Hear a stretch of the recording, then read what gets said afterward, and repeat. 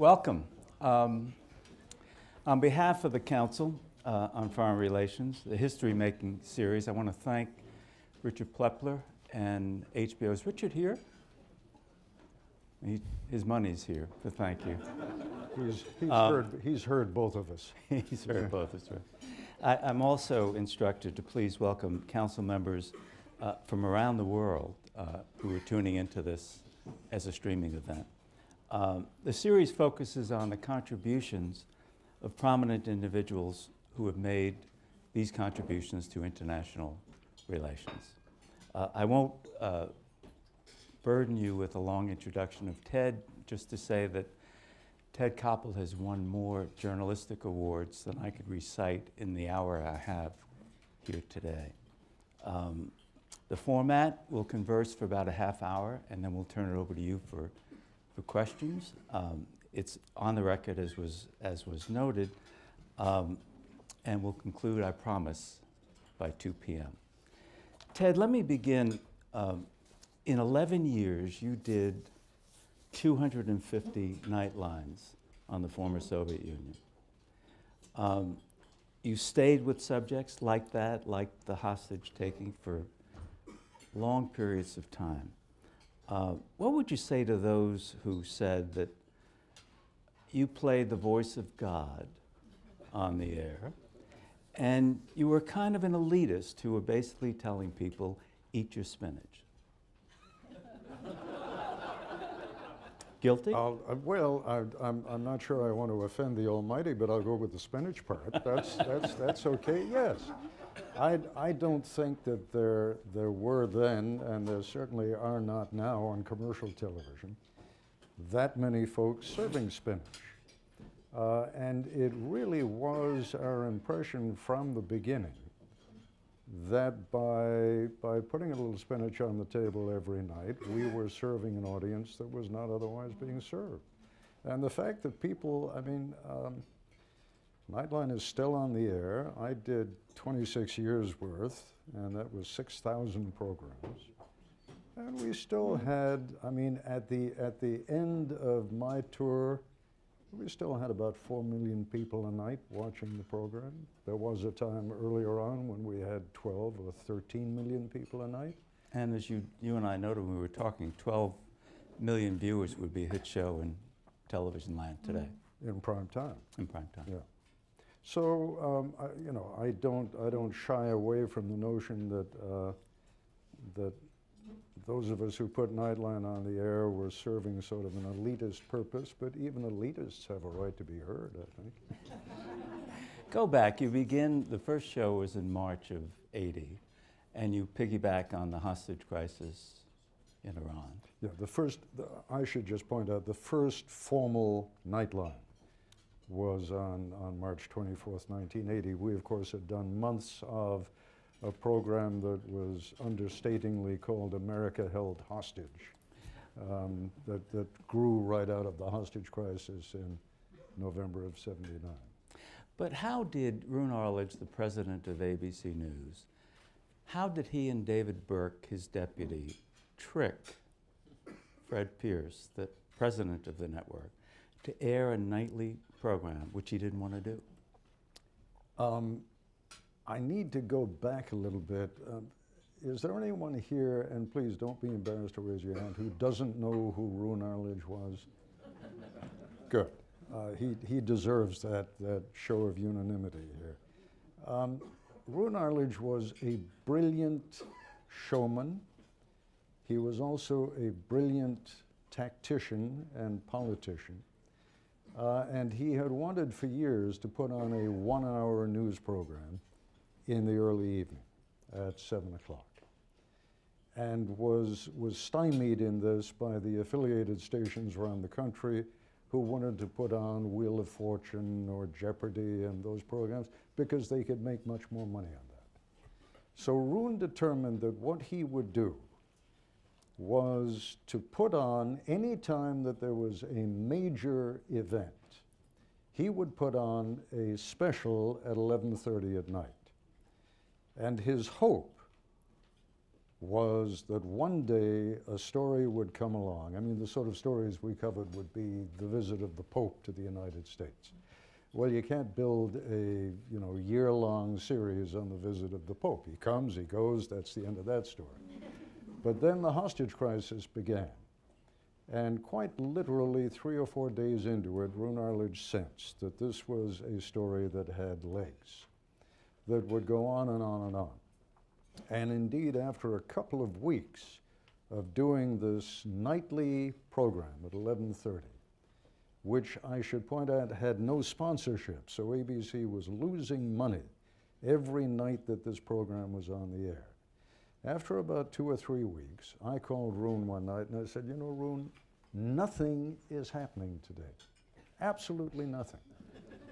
The White House is not holding a briefing. The State Department is not holding a briefing. The Iranians aren't allowing us to send any, any video out of Tehran. We've got nothing. He said, I don't care. Tell me what an Ayatollah is. You know, define the difference between Shia and Sunni Muslims. Put something on the air tonight. He was determined that we would have a program on every single night. And one day he was called, as Ken intimated, by, by the then president of the ABC network uh, a very nice, decent man by the name of Fred Pierce. And Fred said, hey, Roone and David, how long is this going to go on? You know, I mean, we're losing a ton of money doing this. And uh, either Roone or David said, oh, what do you think, David? Uh, a week? And Burke said, I don't know, you know, certainly in two weeks. He said, all right, well, you know, go ahead. And so the two of them, as David Burke recounted it to me later, are riding back to ABC in Roone's chauffeur-driven Jaguar. And they start singing, give them that old razzle-dazzle. and that afternoon, Roone called me up and said, Ted, when you go on the air tonight, I want you to say that ABC News will continue reporting this story until the hostages are released. Yes, right? well, as some of you may recall, and, and in a little just footnote to history, we had a separate section of the ABC newsroom at ABC in Washington. And they put in a special telephone line for us with our own number. So that when ABC, uh, people called ABC and they wanted to get through to America held hostage, they had to ask for this number. And that number was 444. The historians among you will remember that the hostages were held for 444 days. We had that number in front of us from day three and didn't know it. What you talk about Roone Arledge, um, you had been the State Department correspondent for right. ABC at the time of Nightline's birth, and he tried hard to recruit first Dan Rather and Tom Brokaw and Roger, Roger Mudd. Roger Mudd, yeah. Why didn't he just give it to you? he, he, didn't think I was good enough. I mean, you know, it was, uh, uh, look, it's always it's always easy after someone who's been on the air for a long time and has made something of a success of a program to say, you know, why not? Uh, Roone wanted a name.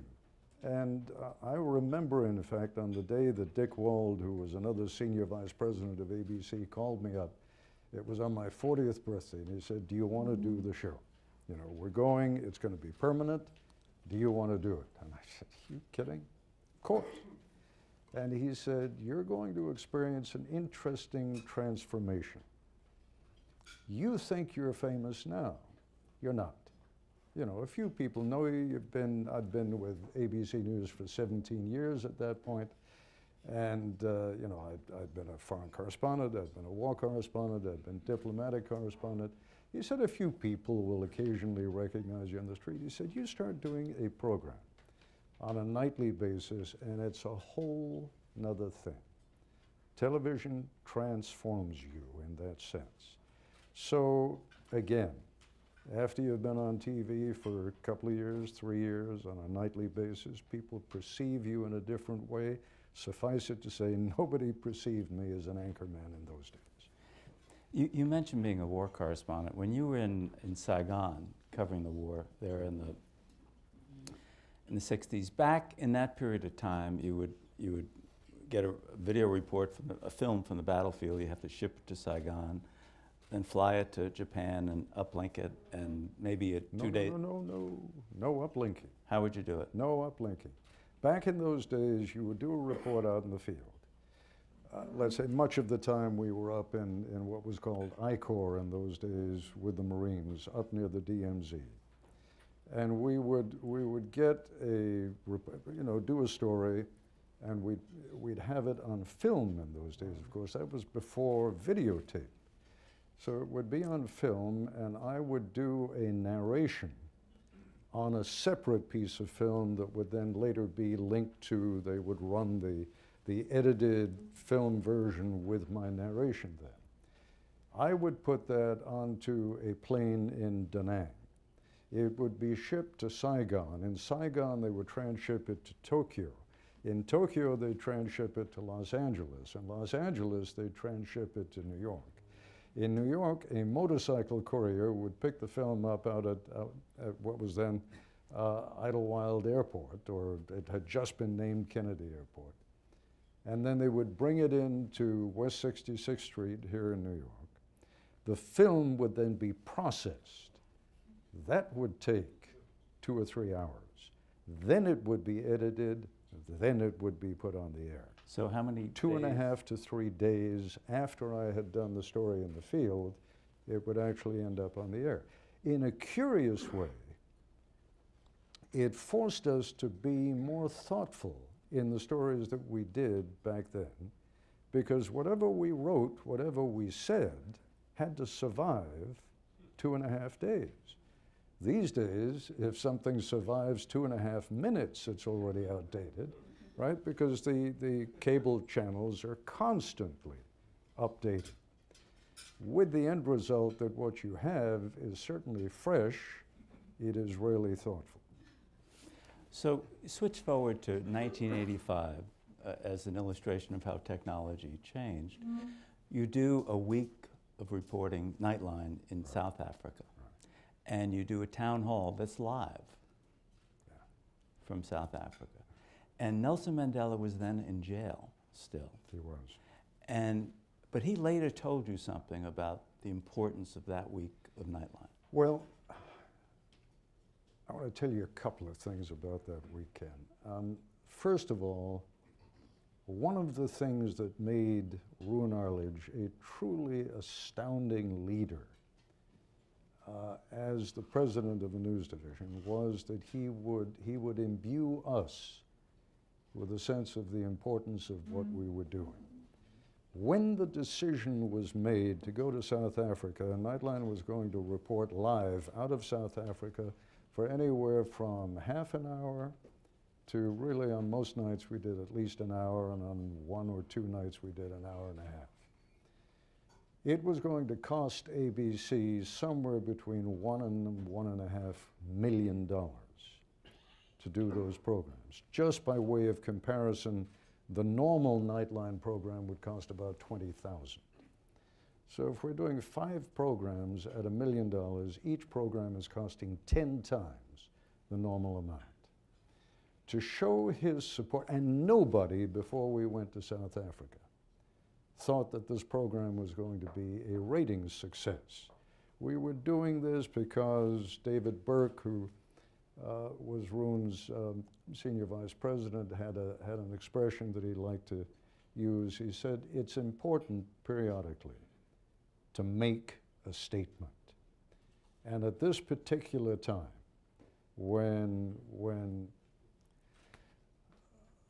the situation in South Africa was, was not good, and apartheid was still very much a part of the government policy.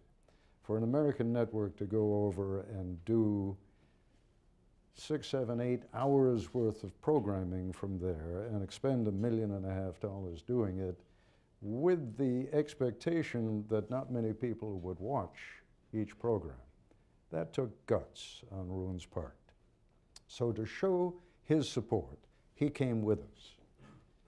On the second day that we were there, he announced that he had to leave and go back to New York. What had happened was that Capital Cities had just bought ABC, and they insisted that Roone be there. So he was there for the announcement, and then what he did really was the mark of the man. He got on another plane and flew mm. back to South Africa again. And in those days, it was an 18 hour flight, right, to get there, so that he would be with us. And to our enormous surprise, those programs were highly rated. They were among the highest rated programs that we did that week. So to get back to your, to your nasty little jibe about the elitists there, the fact of the matter is that apparently there was, there was something of an appetite for some of these elitist programs. And years later, when I, when I met Nelson Mandela for the first time in 1990, when he was released from prison, he said to me, you know, uh, and it was before the term tipping point had been coined. But really, what he was saying is, we were at, in 1985, we were at kind of a tipping point. And I'm not suggesting that you were all that important with your programs, but you know something? It may have just been that tiny little push we needed at that time to convince the government that we had to go in another direction. So that, I must confess, was one of our, collectively, one of our proudest moments. You had another unusual thing you would do on, on Nightline. You would sit there without notes. And in fact, at one point, Susan Mercandetti um, handed you notes for an interview. She didn't think you knew much about the person you were going to have on the air. And you said, I don't take questions from anyone. She was one of your foremost producers. Why is it that you would sit there and not have notes and questions written out beforehand? Because, as you'll discover when I take these away from you, I'm in trouble. no, because uh, I, Good catch, huh? I consider an interview to be a conversation. And in a conversation, you need to listen to what the other person is saying. And I fear that especially among, among young interviewers or younger interviewers who feel that they have to have those questions written down, there is a tendency then to get locked into question number three, question number four, question number five, and if in response to question number two, the person admits that, yes, I used to be a communist when I was in college and I used to smoke dope and, and uh, had several homosexual relationships, and then you move on to question number three. you know, I think the audience out there is going to say, Ted, did you hear what the guy just said? You have to listen. And, and quite frankly, if in the course of a half hour conversation, I mean, you and I could, could change places right now. And you're a, you're a brilliant writer and, a, and you know, probably the, the best chronicler of mass communications in I'm this not going to go country easy on today. you for this. No, no, no. uh, you know, if I couldn't get half an hour's worth of stuff out of you without any questions being written down, I shouldn't be in the business. Well, in fact, uh, as, I, as I recall, one of the things that convinced Roone Arledge that you were the man to be the anchor of Nightline was that he would watch you one, one evening where you, where you kept it going and you were ad-libbing questions because you were listening to the personages. Well, it, it actually, I remember the evening, it was the night after election night, I think. And I forget, uh, I, I had to be in 1980, I guess. Uh, and what I did was we had, it's difficult to remember today, but this notion of having satellite communications, where you could have one guest in Moscow and one guest in Tehran and one guest in Washington, and have them talking to each other live. Before Nightline did it, No one had ever done that before. I say that with enormous pride because I have no technical capabilities whatsoever and have and deserve no credit for, for making that happen.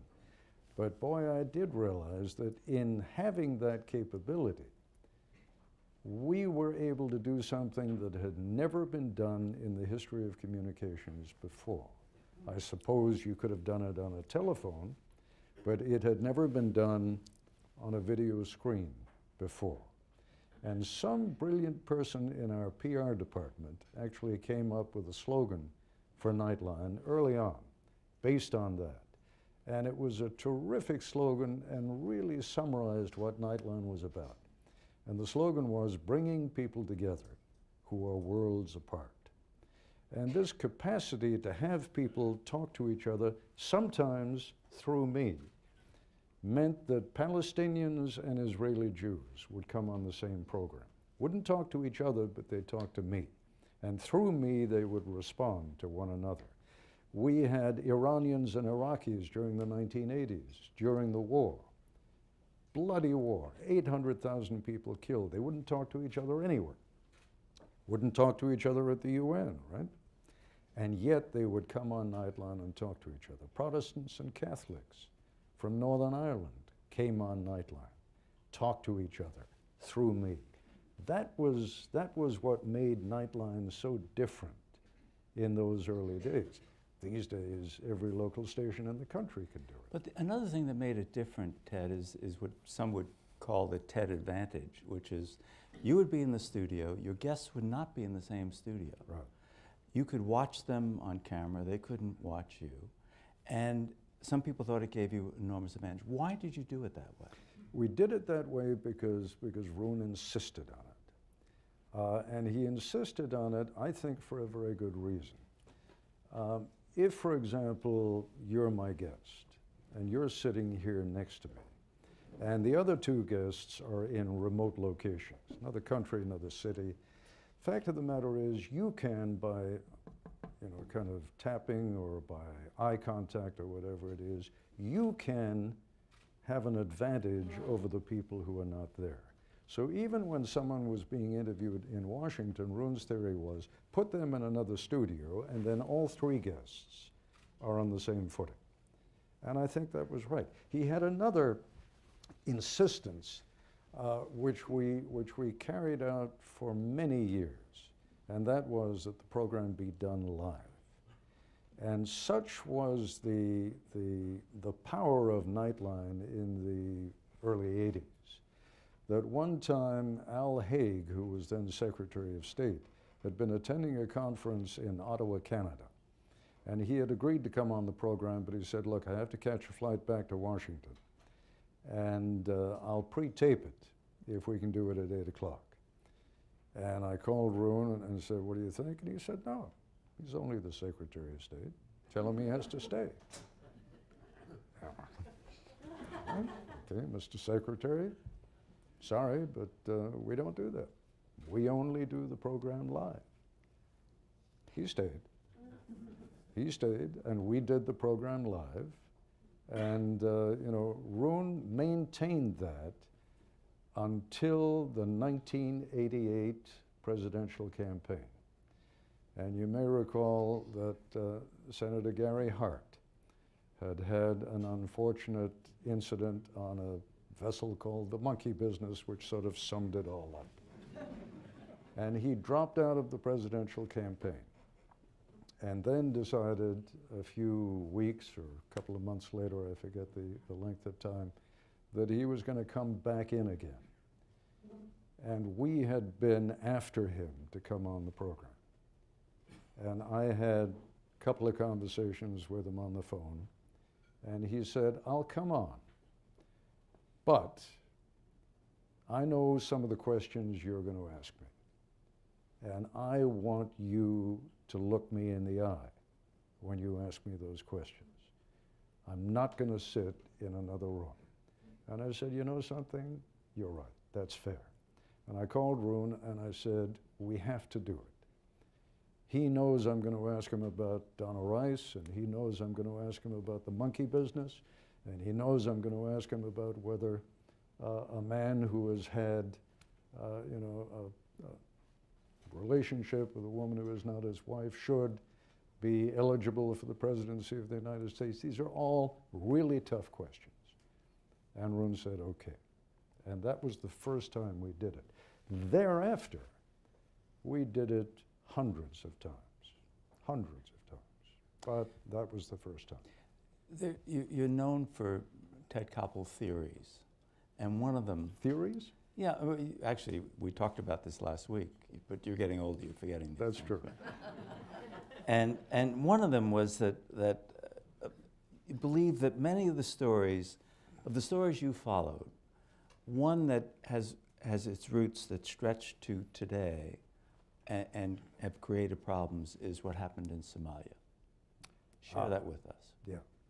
That's the, well, that's the theory of the rule of unintended consequences. And I think as we look at what's happening in Syria today, and we look at what's happening in Egypt, and we look at what's happening in, in, in, uh, in Libya, um, I trace it all back to what happened in Somalia when President George H.W. Bush, Bush 41, having just been defeated by uh, Bill Clinton, was in that interregnum period between election day and inauguration day, and he did something that was extraordinarily decent. And I don't know that any other U.S. national interest was actually involved, but people were starving by the tens of thousands, the hundreds of thousands in Somalia. And President Bush sent the Marines over with tens of thousands of tons of food, which arguably saved the lives of many, many thousands of people. But then we stayed on. We stayed too long into the Clinton administration.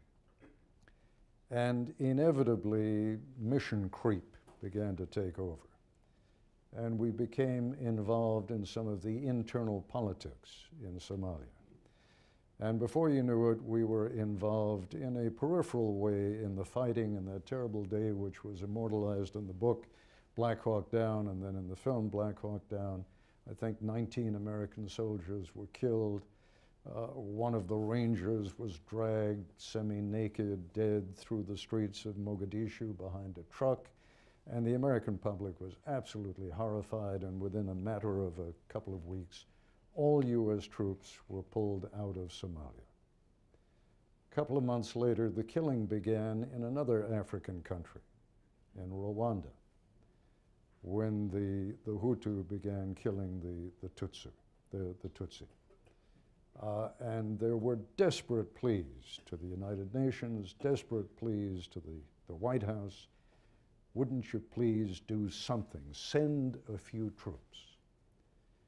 And the aftermath of Somalia was such that we did not send any troops.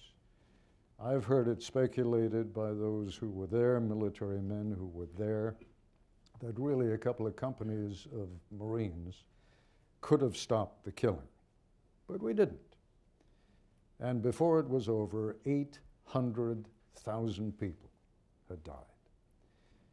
And there was a young journalist by the name of Samantha Powers and a young woman who was working for the, the Clinton administration by the name of Susan Rice, who were absolutely horrified by what happened then. And who, when they became members of the Obama administration, I am told, lobbied hard for some kind of U.S. intervention in Libya to keep the same kind of thing happening in Libya. Uh, we didn't have a dog in that fight. We probably should not have gone into Libya. But we did. We got out by the skin of our teeth, except, of course, for the, the tragedy of the death of the ambassador and the, and the three other Americans.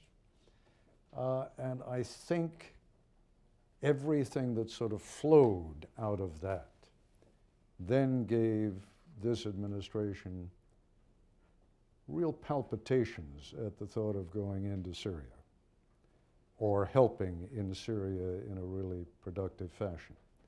So, you know, one crisis leads to another crisis, leads to another crisis. What we do in one place has an impact on what we don't do in the next, and that is a voluble, long recitation of the law of unintended consequences. I'm going to ask another question, then we're going to turn over to the audience for, for questions. But uh, there are those who believe, Ted, that, that we've entered the golden age of journalism, that, that, um, that in, in the age of. I'm, of I'm relieved to hear that not many of those people are here with us today. um, you probably precluded your answer, but um, in any case, the argument is that because of uh, citizen participation, technology, um, it allows people to have many more sources of information. And despite the fact that there are no more documentaries on TV or the kind of nightline that, that you did, it really does represent a golden age of journalism. Your dissent, sir? Well, um, clearly the potential is there. But I think that just as our, our forefathers in, in sort of building the framework of, a, of an American republic back in the 18th century um, didn't really intend to create a democracy in the pure sense.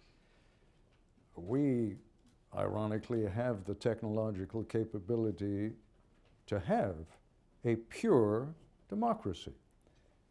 We could probably go to any number of companies in Northern California who could hook up American homes so that on a daily basis we could say, you know, Affordable Health Care Act, up, down, hit the button, and you get, you know, 120 million votes registered. But we didn't want that kind of democracy. What we needed was representational government, where some people would be elected for two years, they would be more responsive to what the, what the voters back home wanted, others would be elected for six years, they would be a little more independently minded, the president would be elected for four years. We have right now something that comes dangerously close to pure democracy in journalism. The potential for greatness is there, but I think at the same time we have to acknowledge that the potential for an enormous amount of horseshit also exists. There is just so much bad journalism that is being instantaneously communicated, so quickly, in fact, that it has made its way three times around the world before anyone has a chance to check on the veracity of what has been put out there.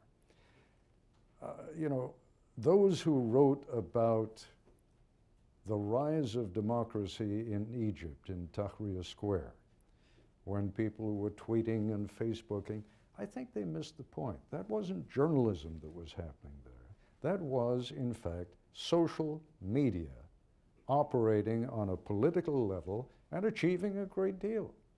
But there's a huge difference between social media and journalism.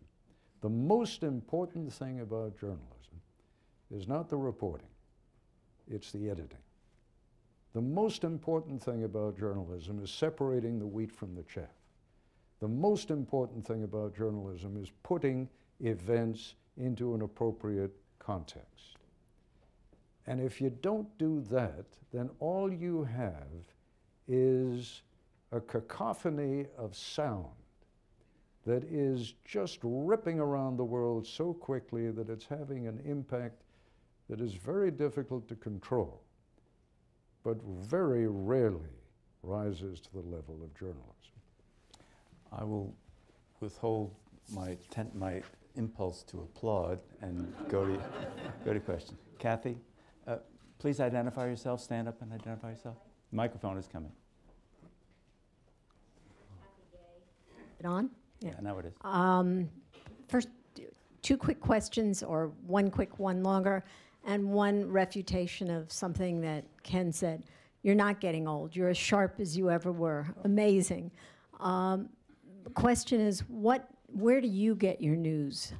Uh, specifically on television, if you do get it there, there. And second, a compliment to Ken and a question that follows. Ken just wrote an amazing piece a couple of weeks ago on The Guardian, and it included uh, a, a discussion of Snowden and WikiLeaks. And I'd like to know what you think about the situation of surveillance and uh, the, the New York Times and the We Guardian, were- et We cetera. were doing, we were doing so well, Kathy, you know? Um, The first, the first question, I'm sorry, you wanted? News. Oh, where I got my news, that's right. Well, uh, my, my wife and I, of, um, we pre-record the, the, the American evening newscasts and the BBC, and we watch BBC America uh, while we're having dinner, or at least the first half of it, and then we will zip through uh, CBS and NBC uh, and, and just see if there's anything new. I am a devoted contributor to and listener uh, to NPR. I listen to Morning Edition. I listen to All Things Considered. Um, we, we get the Times, the Wall Street Journal, the Washington Post, and, and the New York Daily News delivered every day. Uh, and that's, tho- those, those are essentially the main, you know, the main sources of, of news. And the for me. na- NSA, The, the, Snowden? Well, the NSA thing, I mean, look, let me just make a comment about, uh, about Wikipedia, because there is a, I mean, obviously, some hugely important stories came out of what was released by Wikipedia. WikiLeaks, I'm sorry, WikiLeaks. I am getting older, thank you. Uh, by WikiLeaks. Um, but there was also an awful lot of material in there that probably should not have been released. And I think the difference between a New York Times or a Wall Street Journal and WikiLeaks is this, this sort of random dump it all out there and let people find what they want to find. That isn't journalism. I'm glad that I said what I said about the importance of editing before you asked me that question, because I repeat it now. Journalism requires editing. It requires sifting through the massive quantities of information. Uh, and, uh, you know, I think when the WikiLeaks material was used by the New York Times or the Washington Post or the Manchester Guardian, uh, now the Guardian, um, that's perfectly appropriate. I have no trouble with that. And if, if someone said to you, push aside the legal question whether Snowden broke the law Yeah. or Manning broke the law, do you think on balance it was a public service that they released that information? I, I must say that um, I don't know what his intentions were. I wish that um, that Ed um, Edward Snowden. I wish he would come back. It would take enormous courage on his part to come back, but I think he should. And I think he should face trial, and if need be, I mean, some of the great uh, heroes, the, the Thoreaus of, of, uh, of, of history and the Emersons who, who were prepared to go to prison for their beliefs. They raised, they raised it to a level of citizenship and heroism that I would like to see duplicated. Let's get some more questions. Yes, ma'am. Hi, good afternoon. Binta Brown, Harvard Kennedy School. Um, so, how do you rescue, if rescue is the right word, journalism from the influence of social media, particularly in an era where it's not just the rapidity and the pace and you know the, the, the ease of putting information out there, but there are cost controls and now an entire generation of young writers who have not necessarily had the benefit of being edited. Um, and then, closely related to that, how do you rescue it from those people in power who benefit from the lack of editing in journalism today? Well, I mean, the answer is you don't, you don't rescue it. And, and lest I leave you with the impression that I think that the genie can be put back into the bottle again, I don't. Uh, you know, for good or ill, we live in an age of, of Twitter and Facebook and, and all of the, the vast variety of media that now make information instantaneously available. I think the only thing we can do, and Ken does a great deal of work for a, a magazine, The New Yorker, that stands in marked contrast. We were talking before, I was asking ab- about the editing process at The New Yorker, which is legendary. I mean, you know, you have to be really committed to doing a story, as Ken repeatedly has, has demonstrated, to subject yourself to the editing process that takes place at a magazine like The New Yorker because they want to be right. They want to be as accurate as it is humanly possible to be. That takes time. Before one of Ken's stories makes it into print, he will have spent a couple of months or more editing. He will have spent a month or more writing. They will have spent, I don't know how many weeks editing before it finally makes it into the magazine. We have to be sure that there continue to be in print, in magazines, in newspapers, on television, on radio, alternatives so that those among you who say, you know something, I, I know they can do it quickly, but I'd rather do it slowly. I know that McDonald's can put it out very fast, but every once in a while I'd like to go and see what Chef Daniel has to say about a good meal, right? That is also true of knowledge and journalism. There are different ways of acquiring it, there are different ways of processing it, there are different ways of consuming it. And, and the answer is that as long as we have good alternatives, great alternatives, then at least we all have a choice in what we're going to do. Yes, sir. Yes, the gentleman, yeah. Uh, Joseph Carey, I'm delighted that you're here. You have had the opportunity to interact with uh, several of our presidents, and I was wondering if you could share with us not your political take on them, but the measure of the man, and who surprised you, uh, or any insights that you could give. Thank you. Sure.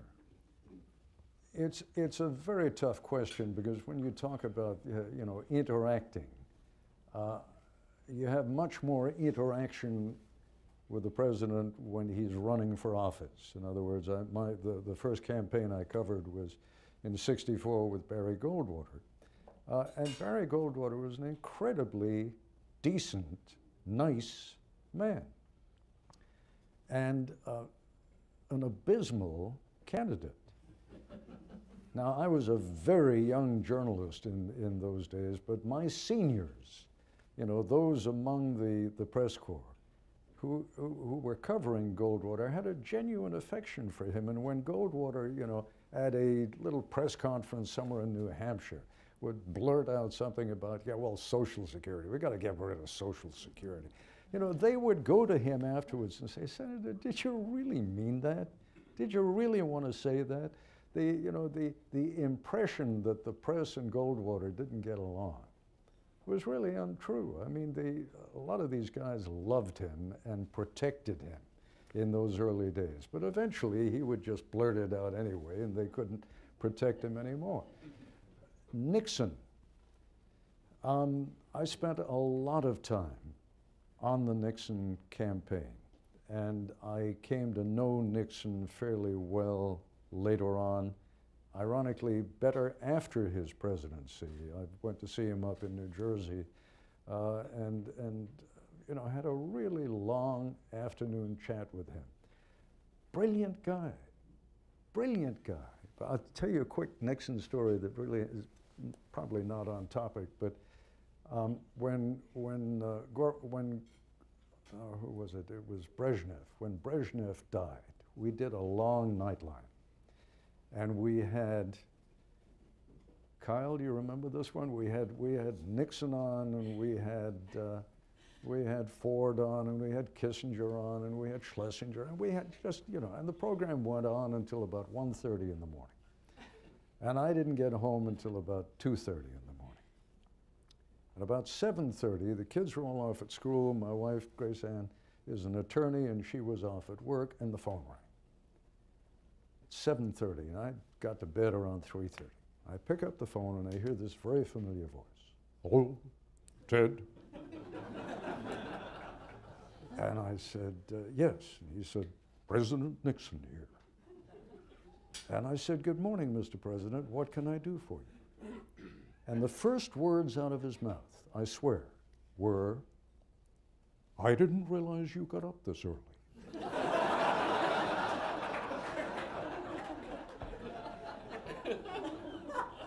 I could, I could do a whole half hour on Nixon malapropisms.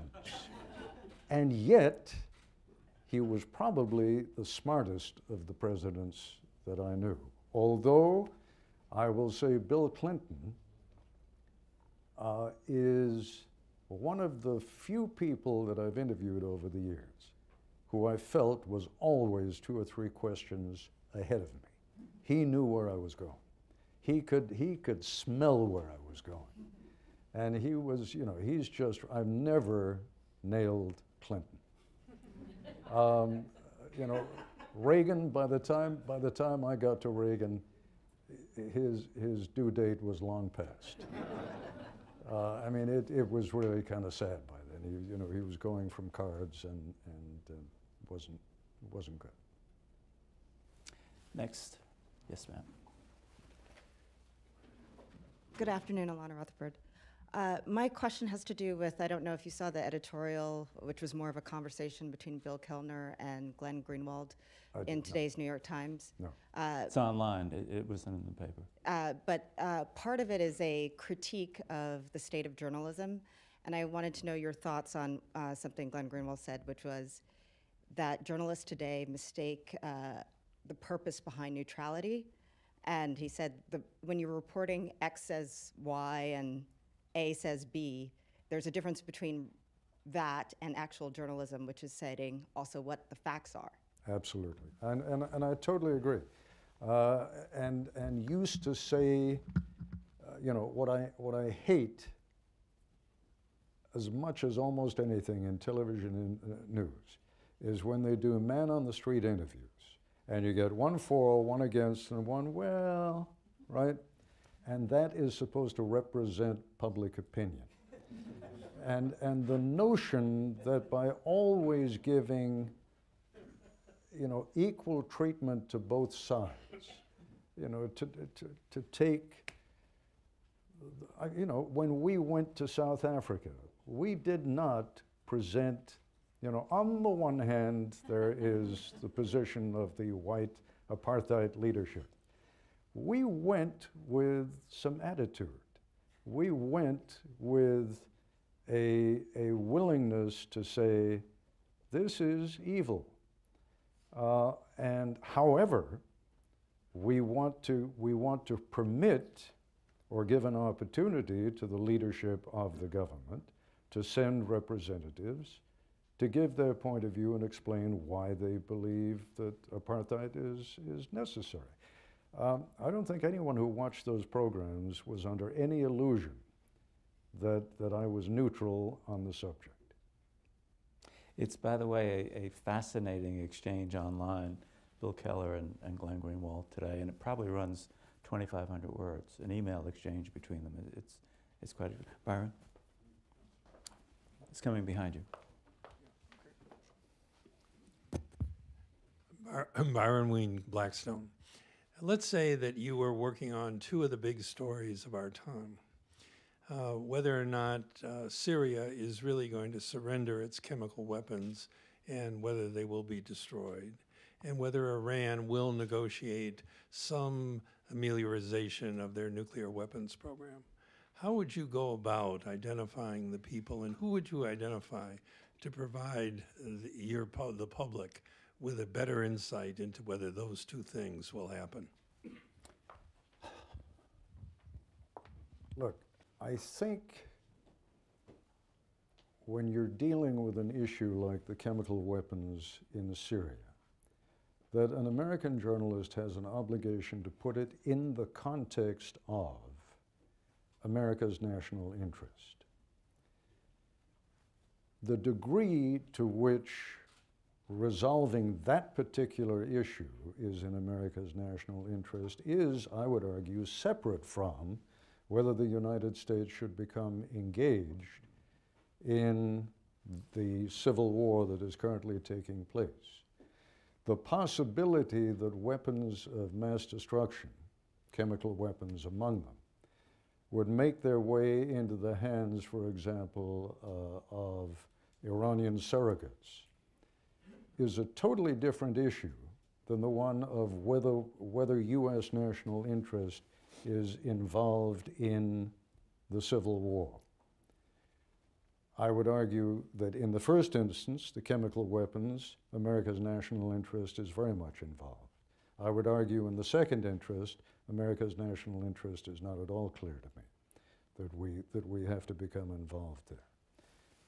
Once you get, once you get that framework, then covering the story, I think, is a little, you know, because then you need to find the people who agree or disagree with that point of view. Yes, sir. Stephen Blank. I want to go back to the question immediately before that. Uh, today, journalism with an attitude is usually factless journalism. People pushing one extreme position or the other. On the other hand, we have on one hand or the other, which is the mainstream journalism. How did we get in that place? How did we get to that position? Why didn't you have more influence? Uh, why, how did journalism today lead us into this, and, and what can be done about it? Well, I mean, look, you've, you've, you've sort of touched on an issue that can take an hour or two. But I'll, no, we don't. I'm looking at the clock. Um, the fact of the matter is that about 15 years ago, a fellow by the name of Rupert Murdoch decided that American mainstream journalism was, by and large, too liberal and that there was a crying need among those in the United States who considered themselves more conservative for uh, journalism that, that catered more to their point of view, and he began Fox News. And Fox News has done brilliantly. He clearly identified a need within a certain segment of the American public, a large enough need, uh, and over the course of the past 15 years, Fox News has done very well, making somewhere in the neighborhood of 1.2 billion. 1.2, I thought it was actually one and a half billion a year, but at least 1.2 billion a year.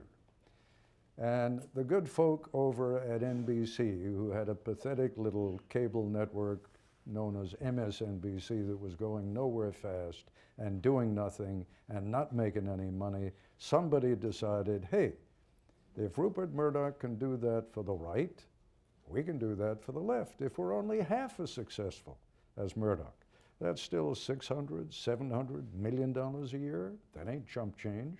And they did, and MSNBC has done brilliantly on the left. And you've got the radio hosts on the right, and you've got the Jon Stewarts and the Stephen Colberts on the left.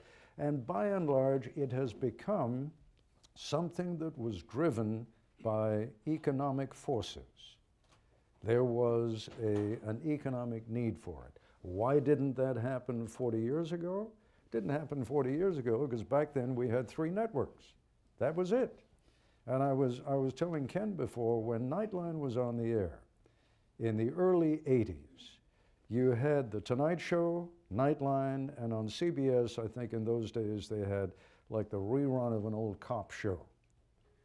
Those three programs, among the three of them, accounted for 70% of all the television sets in use at 11:30 at night. 70%. These days, you've got the Jimmy Kimmel show on at 11:30, you've got the Tonight Show, you've got the Letterman show. Collectively, they have about 20% of the audience. That's your answer.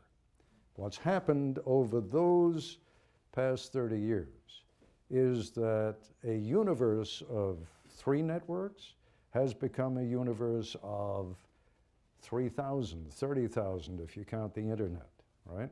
So there is far more competition, far more room for point of view, and the fact that, that Rupert Murdoch so skillfully demonstrated how much money could be made by going for the point of view rather than the on the one hand, on the other hand, is part of the answer to your question. Let's see if we can get someone in the back who hasn't asked a question.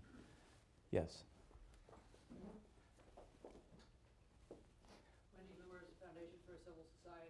Um, one of the happiest moments of my life was when I saw an old friend with a scarf that I'd given her, who I didn't know whether she was dead or alive, on the mountain outside of Skopje during the Kosovo events that you were interviewing, Afrodita Calmende. It was an extraordinary moment. Um, after, of all the 6,000 programs and all of these different crises around the world that you have covered, and you said you went into South Africa with an attitude on one side, what sticks with you? What, how have you remained involved in any of those things, and what are the things that you think um, was life changing for you? I'm, i must tell you, it's a, it's a very interesting question because this issue of how do you remain involved? You can remain involved in large issues. Uh, I have for 50 years been and will until the day I die uh, be engaged in, in America's foreign policy and what we do and how we do it. Uh, I care a lot about that. One of the things you have to be able to do when you're when you're the editorial manager and the and the anchor of a program like Nightline that's on five nights a week is you have to be able to forget last night's program and move on to tonight's program and begin preparing for tomorrow night's program. Uh, so that if I said to you, I have no memory whatsoever of interviewing your friend, I hope you understand that it is because I almost had to do an erase every night so that I could then get into the right frame of mind for the, for the next night's interview. Um, the one sort of overarching conclusion that I've reached that media has been a mixed blessing. I mean, the, the kind of mass media that we have today has been a mixed blessing. As I often will say when I talk to groups of, of students at a university, if I said to you, throw out the names of some great men or women from the 1930s and 40s, and understand that by great, I mean the impact that they had on the world. So you can have great bad and great good. And they start throwing them out, you know. Hitler, Mussolini, Stalin, Churchill, Roosevelt, you know, uh, Chiang Kai-shek. You can, you can go through probably 10, 15 names in no time at all. And now I say as a challenge to all of you, let's do the same thing today. Give me the names of three or four great leaders on the world stage. Anybody? I'm sorry? Clinton. Which one? huh? Uh, uh, maybe. I don't, I, don't, I don't think he's Churchillian. Um, but okay. Deng Xiaoping. Well, he's dead, but uh, yeah, okay. Mandela. Mandela. Mandela, I must say, and, and of course, Mandela is tragically is, is in the last days of his life.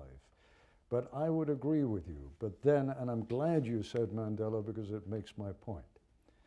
What distinguishes Mandela's career? He was in isolation for 26 years.